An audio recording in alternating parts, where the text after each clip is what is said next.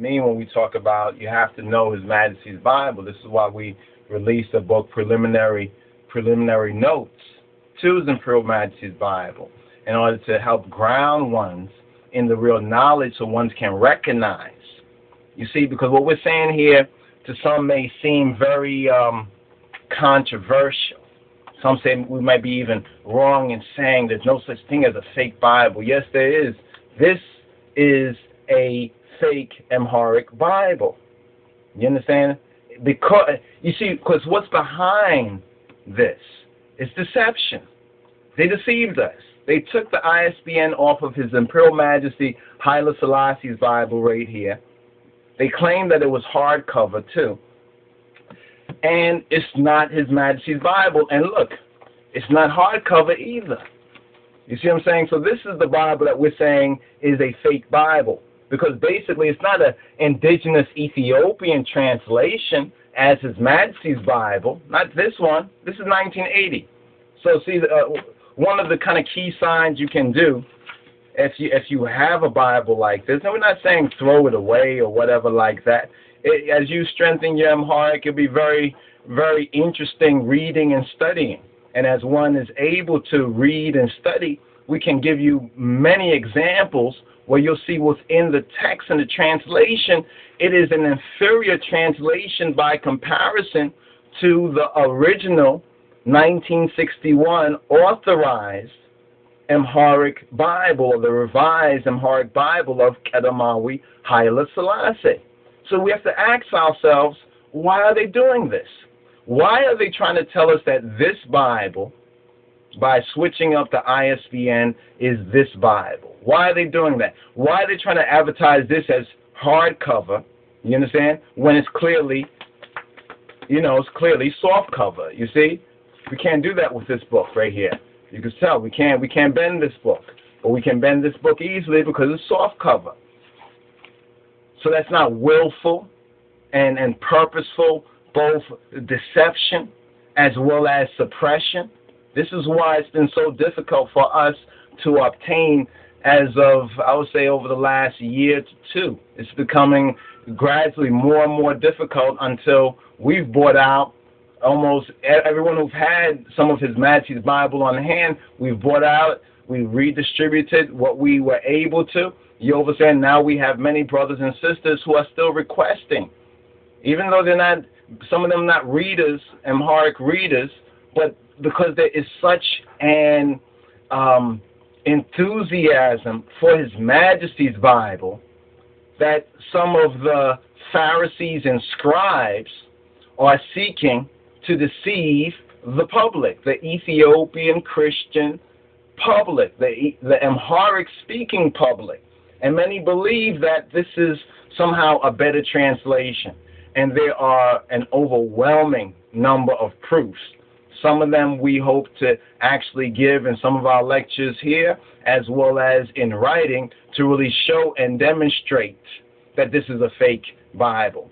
This is a fake Bible. Instead of instead of telling us that this Bible right here was translated from English, translated from the Good News Bible. You see what I'm saying? This is one of the reasons why when we get when we get into this Bible, in the first opening pages of it, they say uh, Kelel Bala Amarinya Yeteteregwame really should be Makalel Makalel Bala Amarinya. And here you can see they still use His Majesty's uh, Bible Society or the Ethiopia Metaf Kedusa Mahiber. They use the logo, but can you see right there where it says 1980? Can you see right there where it says 1980? Hope you can see right there where it says 1980, right there, where it says 1980. All right? This shows when this was done, 1980. Now, if we had the other one, we can actually show you the older one, and you can actually look at the ISBN too as well. You know, because one say that, hey, you calling it fake, and, you know, make your case. Well, we're going to prosecute this case. And, we hope Jah wills and the Savior wills we can convict the guilty. You understand? Because it's it's it's awful. It, it's it's it's it's faithless. It's like kahadi, menafikan. You know what they are doing right here. You understand? And how they're seeking to deceive, you know, deceive Ethiopians at home and abroad. Okay, so next page, that's that page right there. And here, this is this is the ISBN. You see the ISBN on it? See the ISBN right there? All right. Okay, you, you can see the ISBN, right? Now that's the ISBN they're using now. You know, which caught us when we ordered some of these Bibles, thinking that they had a stock of His Majesty's Bibles, and we sought to obtain them for our brothers and sisters and for the Mitmenan, for the Rastafari and the Chopayawiyan Mitmenan. Now, hold that thought in mind right there. Now, this is a this is an older version of it that that we got some years ago. You understand? Basically, you can see it's the same. It's the same book right there. You see what I mean? Okay, this is the 1980 version. So when we open it up, it basically says the same things. 1980. Let's just show you. We put the lineage you stamp there, as we have stamped most of the books from that time. So you can see right there it says 1982. But let's look at the ISBN. Let's take a little look at the ISBN. Now, the ISBN, and, and it's really the four last numbers, the three plus the one number that hangs apart that's really important. There, there used to be a 10 digit um, ISBN, and some of the more modern ones have 13 digits. So that's a little technicality right there. But it's those last, those last um, four digits. Now here you can see where it says three seven, three seven two, and 8. And this must have been printed in 1995. You see right down there?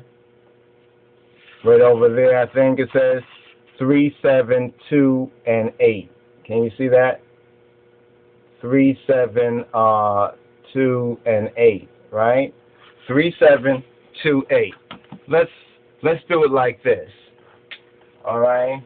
Let's do it like this. ISBN, right? ISBN 372 and 8, right? And this is the one from 1995, right? 1995. See, if you want, we can go back. I think we have a 1977 of His Majesty's Bible. Can look at the ISBN there. But um, truthfully, the Bible was reprinted because of the many requests for His Majesty's Bible many times. Now, in His Majesty's Bible, or in His Majesty's, in the original um, Amharic, in the original Am- Amharic, uh, we have uh, we have 1961, right? Let's put this over here. 1961. This is what we're talking about. 1961, and the last ones right here was it has three or zero zero three. Let's go zero three six two. Right. Before that, it has one four six six. Right. And that was printed. It seems like this series of printing was 1999. So so this is this is the original printing of the version 1991 and the last printings were roughly 1999, right? So put a little asterisk there. Just so this right here is the ISBN. This is HIM Bible, right? This is HIM, the original. This is the one we're speaking about right here, right? Now this one is the the new, rather fake, right? The fake Amharic, uh, Amharic Bible. This one right here. All right, you see, and this is the original Amharic. Let's call this one the pure Amharic. And we'll go into what we mean by pure. The pure Amharic one, this is the fake one. So you can see there's a difference in the numbers used right here. Now, let us take a look at the most recent the most recent um, version that they advertise to us as being right now. Here's what's here's what's interesting. They have a 13, 13 digits. They have eight four three zero four three. Eight four three zero four three. But yet, let's put that up there too, because here's what's in the book. But what's also being advertised now on on the on the so-called page. So now they have this one here. Let's put more of the full number right here. They have uh, eight, four, three, zero, four, three. Put a little asterisk right there. Put a little asterisk next to that right there. All right. But now, if you look at this right here, if you look at this right here, the item number, the item number right there, you see what the numbers are right there? All right, the item number right there says says four six six. The part right here, four six six. So this new one, which has this one, they are seeking to advertise it as His Imperial Majesty's Bible. So it's something that that ones need to, um, you know, uh, keep a lookout. Some have said, "Oh, I got I got the Amharic Bible." I said, "Which one?" They said the Amharic one, thinking that there's only one. I mean, there's only one true one, but there's more than one kind of version out there, so forth and so on. So I usually say, well, well, look in the first title page and give me and give me the date. You know what I mean? And it was tell me what date. In other words, what date do they ascribe? And so the difference we have is the 1980, right, which is seeking to suppress the 1961. And the 61 right? The 61 is H.I.M.'s version, and the 1980 is Pope, is the Pope, quote, end quote, is the is, the papal version. And we, and we can we can actually prove that too, because we said that this so-called new Bible, this this this, this Kelal um, um, uh, Makalel uh, uh, Makalel version, you understand? When that means to say it's light. They try to say it's easy, but it's like light. It's almost like almost the point of being vain. You understand? We're not saying it's completely vain, but because it has God's word and, and Christ, it has Exiaria and Christos in it, and the other names of the holy and the righteous ones. But the context of it is not based on our indigenous ancient scriptures or even the Hebrew, they say that, well, this has been diligently compared with the Hebrew and the Greek, so therefore it is more accurate, blah, blah, blah, blah, blah, blah. Who do they think they're talking to? They must be talking to some so called, um, you know, ignorant Ethiopian or Amharic speakers there, ones who might not know Hebrew or ones who might not know the Koine, the Greek, or the Masoretic, or the Syriac, or even the Coptic, and can't don't, don't even know the Ge'ez. You see what I'm saying? See, His Majesty's Bible is based on the ancient Ethiopian text, the Ge'ez, um, the, the the the the Greek and the Hebrew compared later on. Now, how do we know this? Well, we know this Let's go to our preliminary notes for a moment. Where's the preliminary notes? We put it over here. Okay, the preliminary notes.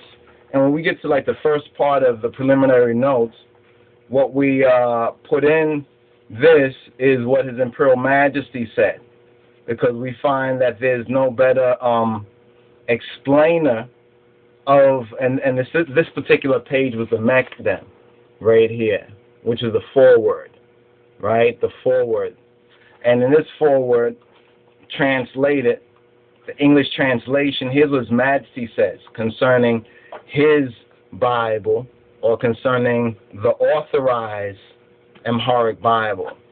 You understand? The authorized. And see, in a sense, we can understand where some of the King James people, you know, people who say that they it's the King James version of the Bible. When you really are able to understand the King James version, what's behind it, do your Scofield, your Septuagint, um, your your what they call it, your Strong's Concordance, get into your Gesenius lexicon for the Old Testament and your Thayer's lexicon for the New. You know, when you're really studying, when you really love the word, that you study it. You understand? I mean, I mean, even even one line or sentence. Sometimes just studying what's in that one sentence and getting to the root words adds so much to your biblical and your spiritual awareness. It is truly awesome. You know, it's truly awesome. It's not like you have to study a whole book to begin with, but you can study just a couple of a, a couple of phrases, a couple of a, a words, a name in the scripture. And when your awareness really begins to comprehend what the true meaning of it, this is what we try to encourage our brothers and sisters in the Amharic literacy. And of course, they may hear me or other ones who are even more fluent speaking and and and conversating and they feel like oh i can't get this.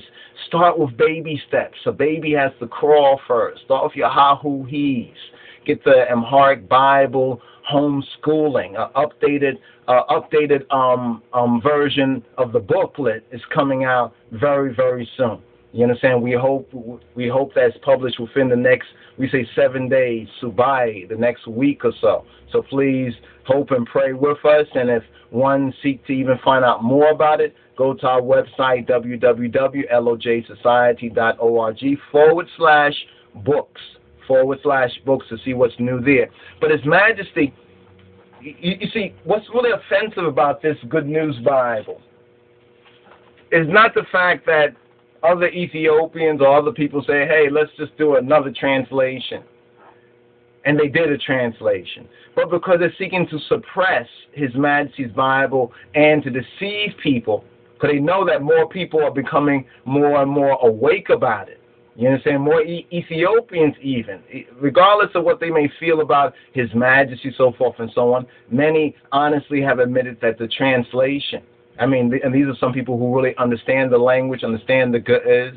So you're able to look at the older version and, and the Ge'ez and Abu Rumi's version, then you look at his Majesty's version, and then you look at the new version. The new version, which is this one right here, you know, which is basically this right here, the Good News Bible. Now, why do we say it's the 1980 Bible is the papal Bible? Because this is what this Good News Bible is all about. You understand? The Good News Bible is basically the papal approved Bible. It's all part of their so called New World Order. You understand? The whole ecumenical sort of thing going on because when you look through it, it was completed roughly around like 78. 78.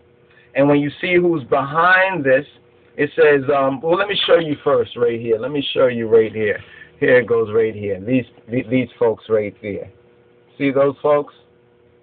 All right. You get that title? You see that title? What's that title right there? That title says um, it says imprimatur. Imprimatur sounds kind of like Latin or so. Well, if if these so-called careless Ethiopians are being honest, they should have that in there as well. They act like, oh, we just decided to translate this new Bible and compare with Hebrew, and, and it reads just like the introduction here. But worse yet, when you get into the chapters and you really start to read the the English and you understand English well enough and you understand Amharic well enough, it's, it's, it's not it's not funny. It's not amusing. It's not amusing because what's being done to the faith of the people. You understand? There's even certain theological errors as well. You understand? Uh, we're going to show you hopefully some examples where where they change gender too. They change gender. Something that's supposed to be a feminine gender, they make it masculine. Something that's masculine gender, they make it feminine. And then when you go back to the Hebrew, the Hebrew agrees with the Metaf Kedus of His Imperial Majesty. The Hebrew agrees with His Majesty's Bible. But yet, in their foreword, they make a big write up about, oh, like we checked this, we checked that. No, they're just repeating, they're mimicking You understand what their um, mystery Babylon overlords are telling them. So we have John Francis Well Whealon. We have Arch, Archbishop of Hartford. Then we have Censor Deputatus, the Reverend Kenneth H. Schreiner. You understand? Kenneth H. Schreiner. And they even have in, in this in the so-called Good News one, in this so-called Good News Bible, they have like like an introduction before the chapters. You know, as a kind of a secondary or tertiary, uh, as a secondary or tertiary, like a second level or third level um, comparison or reference. There's nothing wrong with it on that sort of level. And that's what they intended to do because there's other Amharic Bibles out there. And we won't try to call them in, in the same way fake. They're just a different kind of common or uh, vernacular translation for today's um, more ignoramus Ethiopians. You know saying? But for those who really um, love their language and understand the importance of their culture and that Ethiopian or Ethiopic culture is high culture. It's just like if you want to go to some Western university over here and you want to study medicine or law, you got to learn Latin. You know, to really qualify for that higher level of, you could say, both honor and and knowledge and responsibility and sociability, so forth and so on. Well, it's the same way in, Ethiopia, in, in Ethiopia, in true Ethiopia, what we know or knew and will know again as Imperial Ethiopia when the crown is restored. The crown and the throne and the kingdom will be restored. But first, there's this spiritual warfare that we're engaged in right now. This is why speaking on this particular subject matter is very, very important. It's very, very important because there's, there's a spiritual war. You see what I'm saying? If they can control the way that you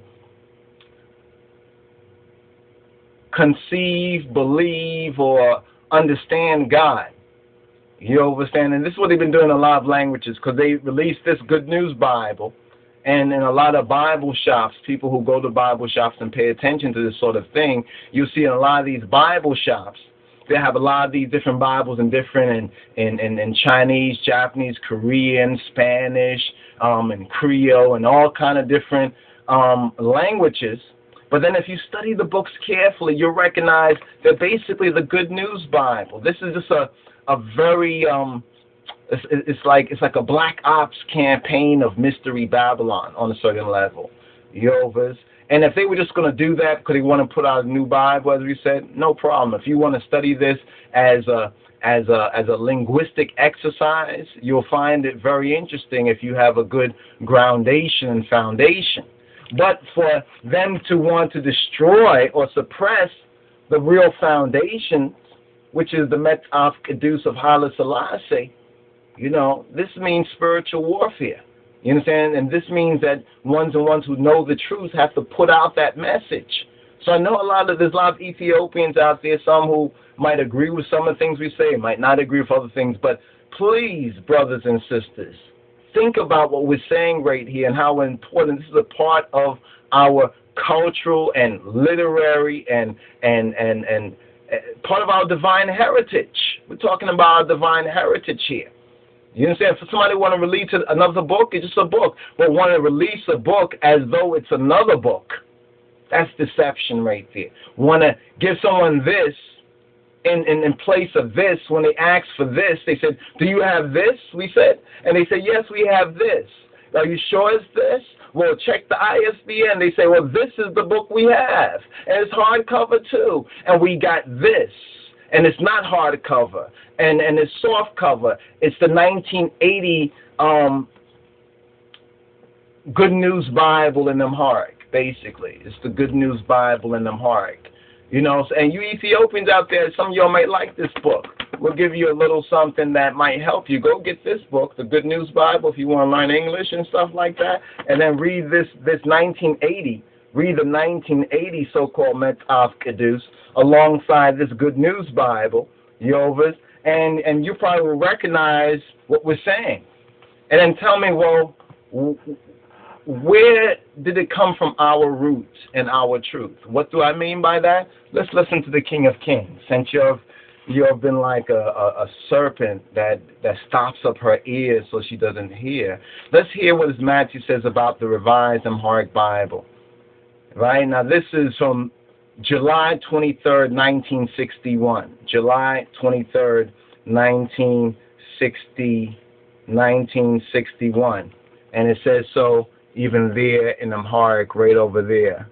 You understand? It says so right there, just to get the dating on it, the historicity of it. His Majesty says that Ethiopia, an island of Christianity, is recorded in history as having received first the Old Testament and then the New Testament earlier than most of the countries in the world. So, so let's let's ask ourselves a question right here.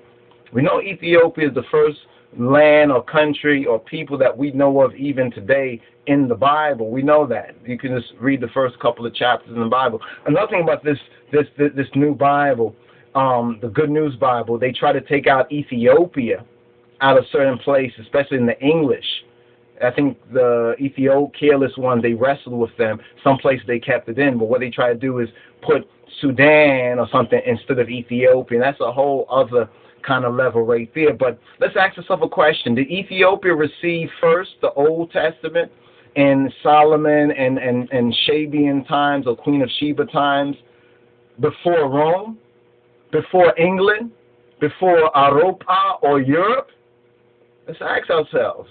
So why are we accepting their rewrite, their perversion, you understand, and their theology subtly and subliminally in this 1980 Amharic Bible that we call basically a fake Amharic Bible. When you're going to try to pretend that it's His Majesty's 1961 Metzaf Kedus, then we'll call it fake because that's what it is. It's fake. You know what I'm saying? So be warned, brothers and sisters. There's the 1961, and then there's the 1980. This is how you can know. This is how, this is one of the ways. You know, like they say, how you gonna know like a a, a counterfeit? How how they they know the counterfeit? They have to look at the real thing. You understand the real thing. So many Ethiopians may accept this uh, Elel uh, Bala Amarinya, you understand, Turgum. They may accept that because they don't know what their own authentic divine heritage is. You know, but then if they do know and they still reject that, then woe, woe, lacho, woe to them. But here's Matthew goes on to say, when in Old Testament times she received the law. In other words, in Old Testament times, Ethiopia received Torah. You know what I'm saying? Received the Torah, the law. And when in New Testament times she received the Wengel or the gospel of our black Lord and Savior Jesus Christ. Getachina met hanatachin Jesus Christos. She ensured, Ethiopia ensured as a Christian, Judeo Christian nation, she ensured that the scriptures were translated into the ancient language of Ge'ez, into the ancient language of Ethiopic, known as the Ge'ez. From those times to this, various books, both of spiritual and material profit, have periodically been compiled and written in Ge'ez. We remember with deep gratitude those fathers of old who, as time and opportunity allowed, worked with much care and labor and have left us books for the preservation of the faith and for the increase in learning and knowledge. So see, this when we talk about His Majesty's Bible, this is our own indigenous.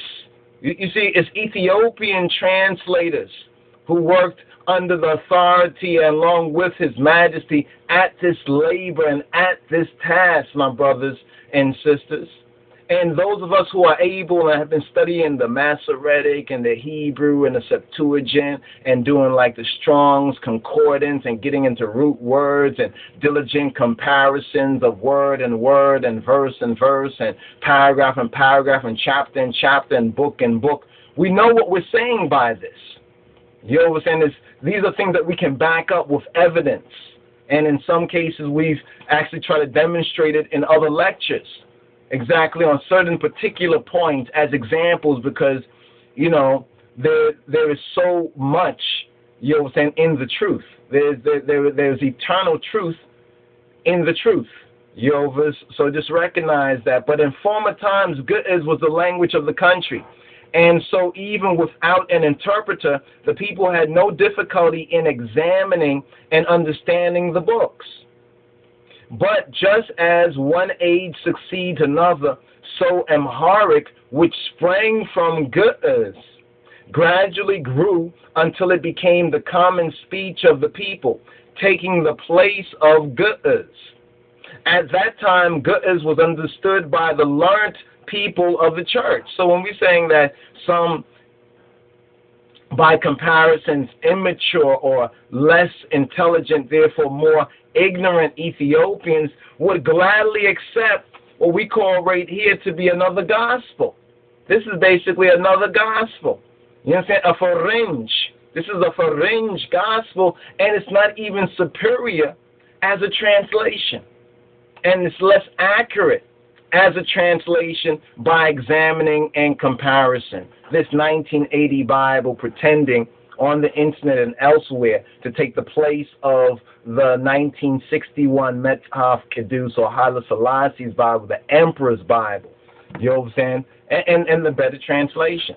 And this is why we love it. We can say it's the Emperor's Bible, Haile Selassie, the Book of the Seven Seals, you know, with passion and with joy and with love and even pride in the King of Kings and his Christ.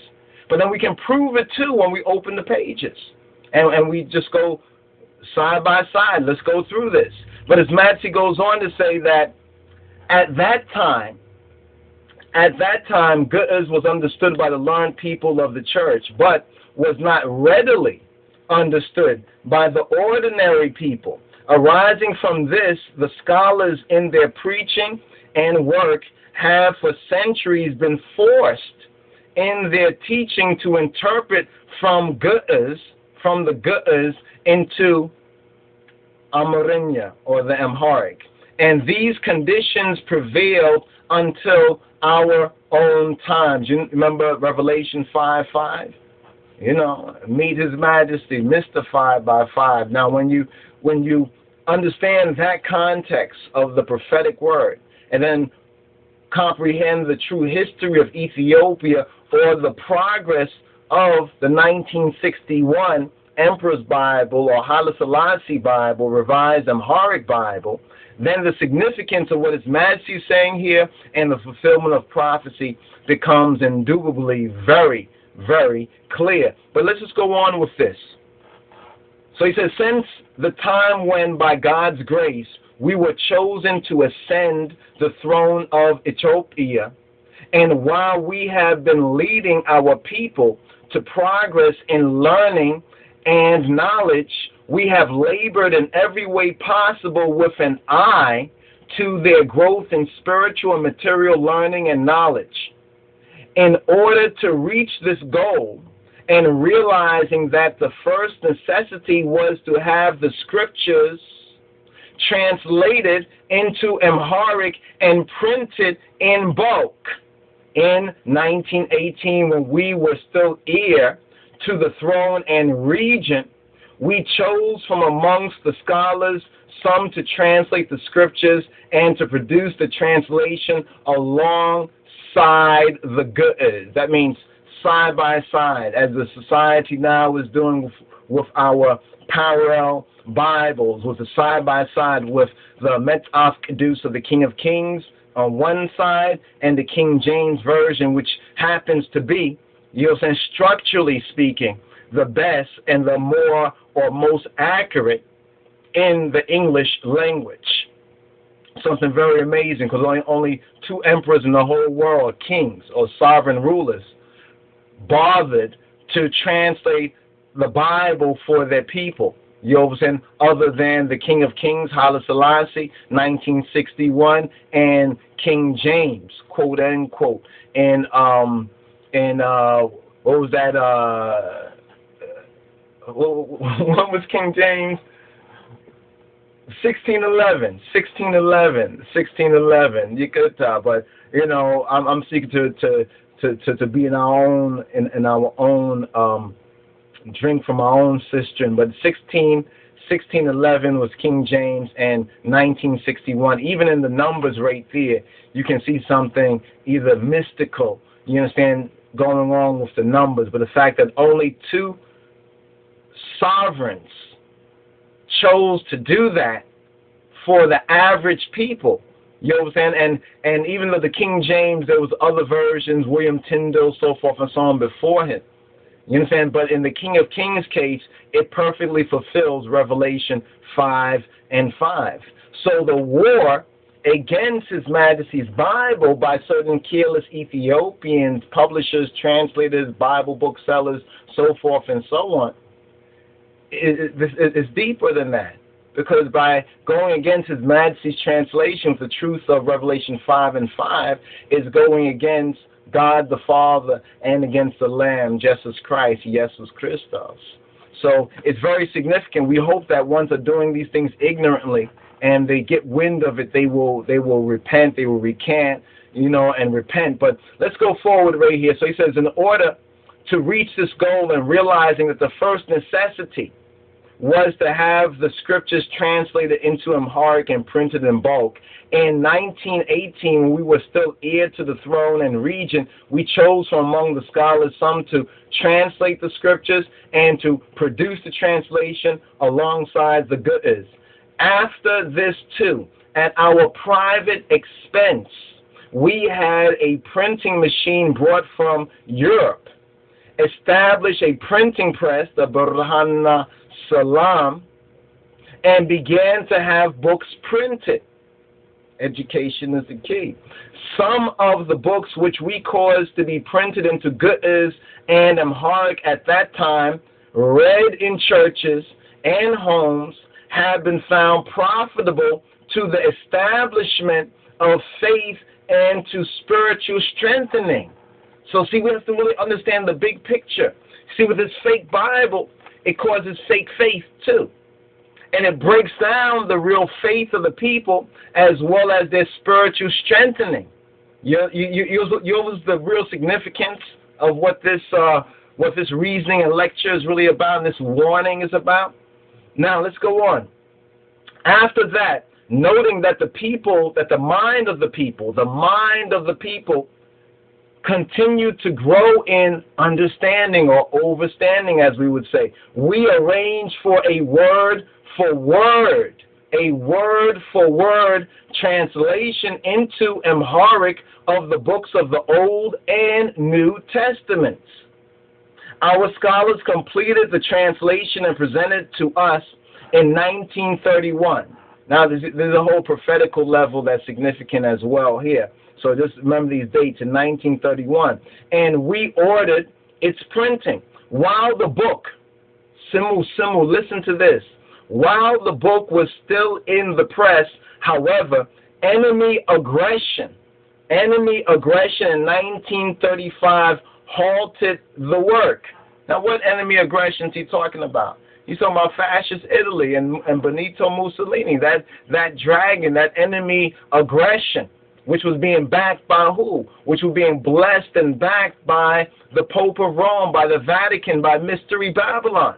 Now, when we get behind this Good News Bible right here, it's the same thing going on. They're taking this right here, and they are having some had some Ethiopians translated in 1981, and now they're trying to take this and palm it off as though it is His Majesty's Bible, and it is not. Let's show one that one didn't see the other one. One of these is the original. One of these is the real Amharic Bible, and one of these is a Good News carbon copy and fake. Do you know which one it is? You see the one in my right hand? The one, the one in my right hand is the real Emperor's Bible, the Metaf Kedus, the book of the seven seals. And this one at the left is the Goat's Bible. You understand? It's it's the papal Bible, the Good News Bible. Basically, as we've been saying, it is the Amharic version of this right here. That's what it is. You see, that's what it is. If we were to show you, well, well, His Majesty's Bible, we have to show you the good is, because Majesty's giving us testimony right here.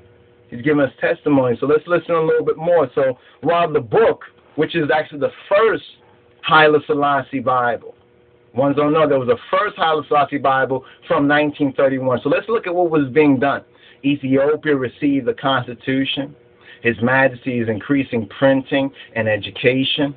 And when the enemy saw this of God's people, the enemy, just like Revelation says, you understand? The enemy went to war against the remnant of God's people. And that's where Revelation was fulfilled with those who in, in the white robes. Go look at the historical footage in the film and you'll see that to be true. So right here, it says that the work was halted, but even so, while in exile in London or London, we gave permission for this same Bible to be printed by photo offset, and it was duly issued.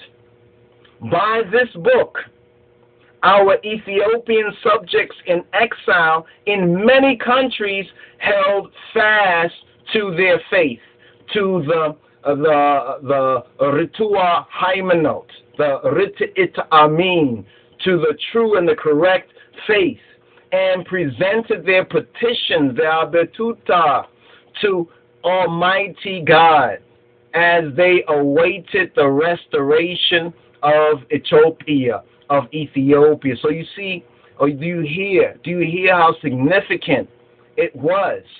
You know, it was that the people had their own Bible. You know, saying their own Bible from their ancient, from their vine, from their fig tree, from from their testimony and ginunyet, their relationship with the true God, know, saying the God and Father, the creator of the heavens, the earth, and the seas, and all that is therein. And through that covenant of King Solomon, the Queen of Sheba, and just the, the ancient relationship that the true God has had with the righteous Ethiopians, the righteous Tobians. He even says in Amos 9 and 7, Aren't you like the children of the Ethiopians unto me, O children of Israel? That's where we not get off, but that's where we come into the picture. Those of us, the so-called black people in the in the Americas and the Caribbean, the whole uh, Deuteronomy chapter 28, verse 15 to 68 experience that we still are in the iniquity of the Amorites, period. That's what's happening right now. But the last paragraph, just to complete this, so now that was the first Haile Selassie Bible. That was the first Haile Selassie Bible. Now this, he's going to now speak about the revised, you see, and the reasons for the imperial revision. When all honor and praise be to God, we had brought about the liberation of Ethiopia and had entered our empire, realizing that there ought to be a revision from the original Hebrew and Greek of the existing translation of the Bible, we chose scholars qualified for the work of biblical training and on March 6, 1947, set up a Bible committee in our palace. The committee worked with diligence for some five years, and on April 19, 1952, presented the translation to us we gave heartfelt thanks to all who helped us in this work. All the ancient scriptures were written for our instruction, in order that through the encouragement they give us, we may maintain our hope with fortitude because we desire that the light which comes from the scriptures may shine to all this Bible, this Bible, you see this Bible? We're talking about this Bible. We're talking about the 1961, or in, in it 62, because that's after this. He had it circulated through the International Bible Society. We're talking about the 60s Bible versus these latter day, these latter day ain'ts these latter day ain'ts. As Matt says, because we desire that the light which comes from the scriptures may shine to all. This Bible, by our command and will, has been revised and printed in the 31st year of our reign. The line of Judah hath prevailed. His Imperial Majesty Haile Selassie I, elect of God, King of Kings of Ethiopia. So this is just a little note from the preliminary Rastafari preliminary notes on the Haile Selassie First Amharic Bible. You know, just giving one a, a, a basic introduction into the book in order to put the matters in their proper context so that ones can examine and have an opportunity to examine the the legitimate, as I said, the legitimate document, the original, the authorized, the true document, so that one can then recognize the so-called fake. You know what I'm saying?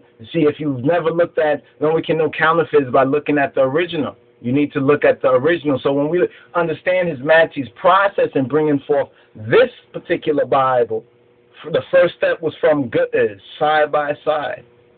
Then have a revision with the, the Hebrew of the Old Testament, so-called Masoretic, along with the Septuagint of the New Testament. So what we have here is a highly refined and a purified document.